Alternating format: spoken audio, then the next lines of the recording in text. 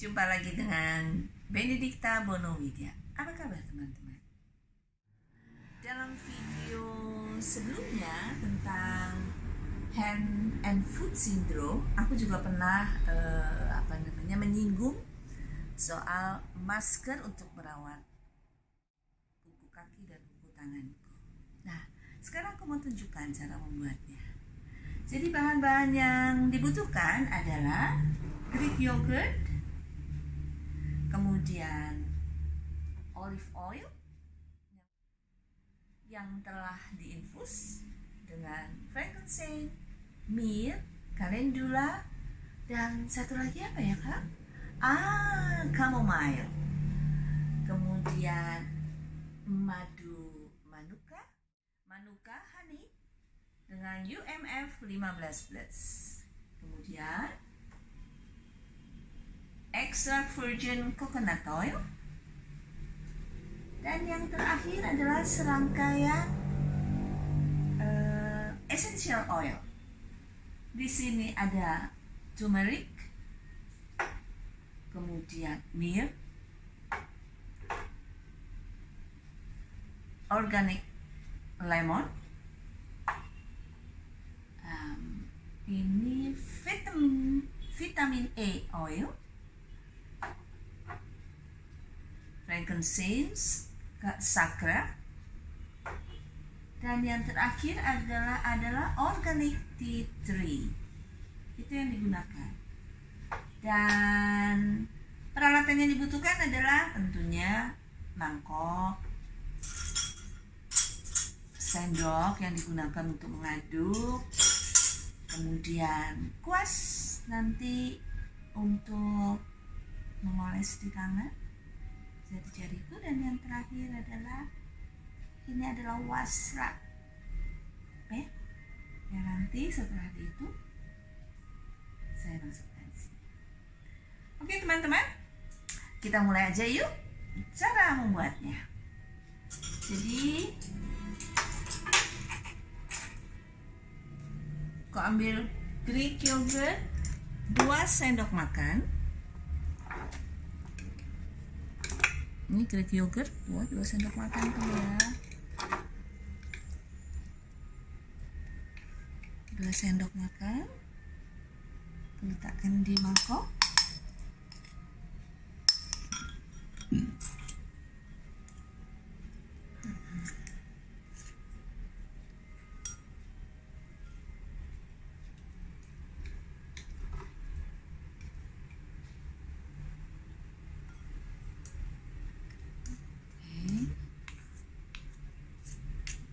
kemudian satu sendok makan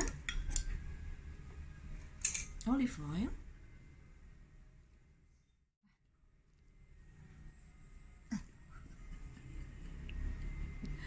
Waduh.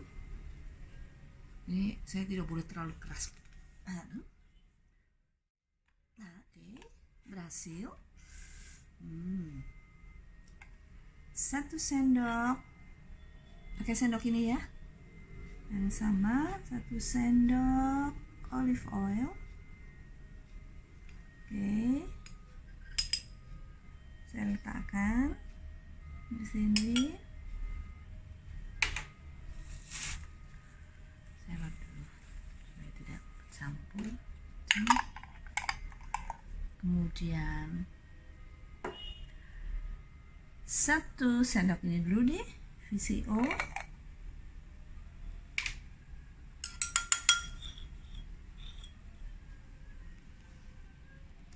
VCO satu sendok.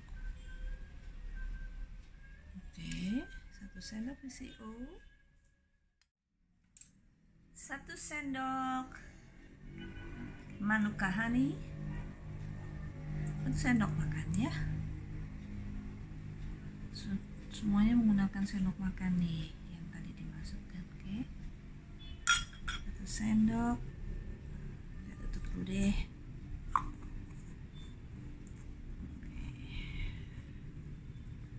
Dibantu dengan sendok tadi. Ya ini satu sendok manuka honey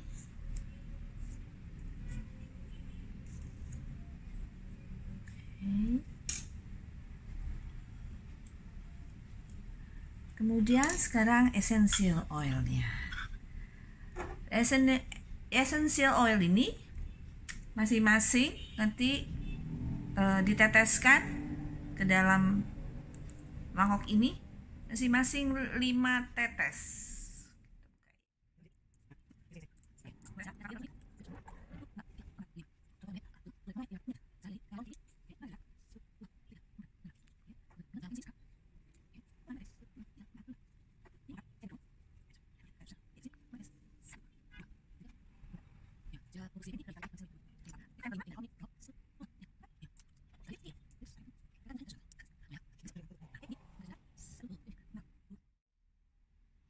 tiga. Empat.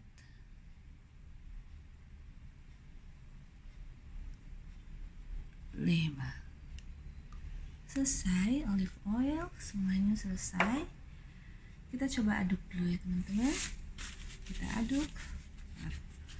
Ya kita aduk ya. Kita aduk semuanya.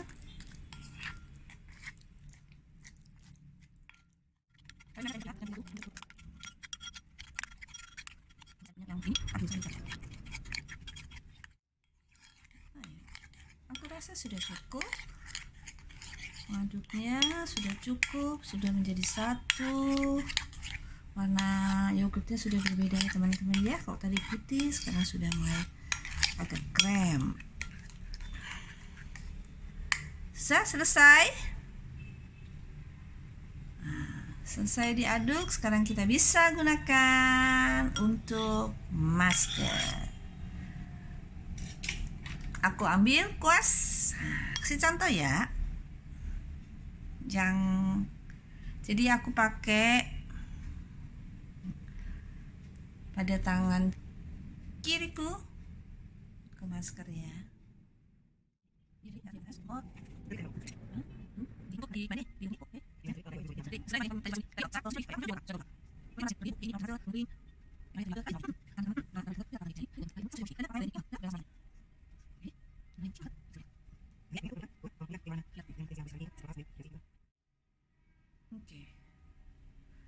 Jadi dengan di masker ini maksudnya adalah untuk melembabkan. Kulit ini juga kering sebenarnya jadi uh, dia untuk melembabkan kulit-kulit, kemudian meregenerasi kulit yang sudah pada mati. Terus uh, yang hitam-hitam ini juga semakin lama semakin uh, berkurang, kayak gitu. Hmm, itu fungsinya masker yang ini. Sudah selesai? Aku memberi masker pada jari-jari tanganku. Sekarang aku masukkan ke dalam apa? waslap tuh waslapnya juga modif ya modif eh modis ya sama bajuku. Biru. Oke sudah? Ini uh, kita diamkan selama 30 menit aku diamkan selama 30 menit. Ya sambil berbaring-berbaring lah karena tidak cuma jari tangan nanti juga jari kaki juga demikian. Ya teman-teman kakiku udah di masker dan sudah dikantongi pakai masker. Tulus ya? Nah ini kita diamkan selama 30 menit. Jadi silahkan tidur. Selama 30 menit nah teman-teman tadi 30 menit tanganku direndam ya pakai masker.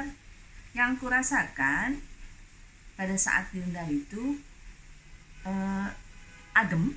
Jadi jari-jariku yang agak-agak panas kayak gitu sekarang menjadi dingin. Kemudian ada rasa apa ya kalau orang Jawa bilang tengcelkit gitu loh.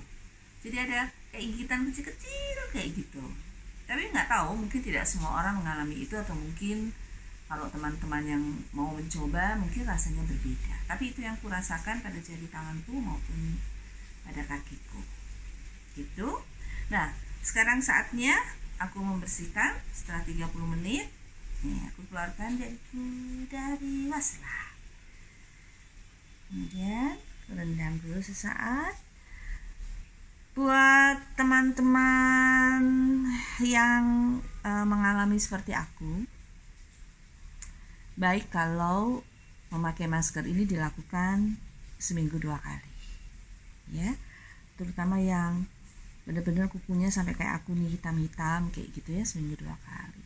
Tapi kalau uh, cuma baru samar-samar kayak gitu-gitu seminggu sekali nggak apa-apa ya. Atau teman-teman yang uh, baik-baik aja kalau mau melakukan ini seminggu sekali juga bagus. Karena kulit kita menjadi kulitku tuh menjadi lebih putih dan memulihkan lah ya. Dia bisa memulihkan itu hitam-hitam yang ada di pinggir-pinggir kuku itu atau di telapak tangan. Oke. Setelah ini dibersihkan. Oke ini aku bersihkan dulu ya teman-teman ya. Tuh bersihin dulu ya. Sampai bersih. Oh tadi aku lupa ya. Uh, jadi kalau ya para penderita kanker seperti aku itu menggunakan air air adem lah ya nggak usah pakai es kayak gitu nggak. Pokoknya air. Air bersih. Tapi buat teman-teman yang normal boleh lo pakai air yang hangat kayak gitu tuh nggak masalah. Karena karena jari-jariku ini panas saya tidak boleh pakai air panas atau air hangat jadi harus air dingin.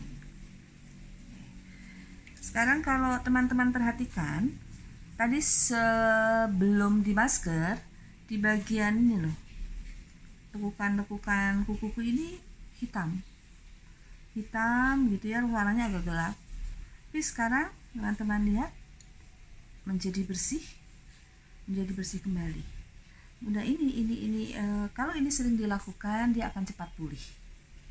Ya, teman-teman ya. Oke. Okay. Uh, sesudah dibersihkan, kita keringkan. Kita keringkan. Hmm. Pindahkan dulu ya.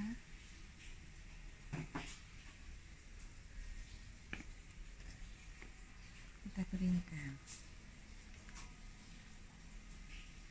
Jangan diusap-usap digesek-gesek kan nggak boleh. Jadi harus di ini aja dipencet-pencet perlahan.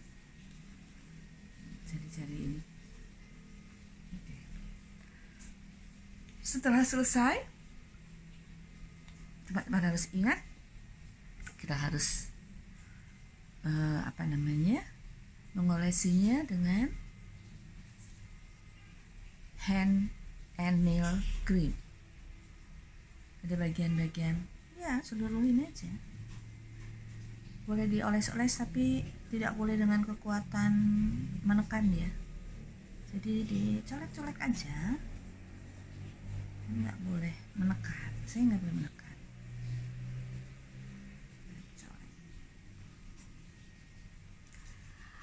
Oke itu. Selesai. Oke teman-teman. Sudah selesai ya Hari ini memberi masker pada tangan dan kakiku. Aku akan sharing pada video berikutnya adalah penggunaan masker pada wajah dan rambutku. Oke teman-teman, sampai jumpa di videoku berikutnya. Ingat, subscribe, komen, share, dan like.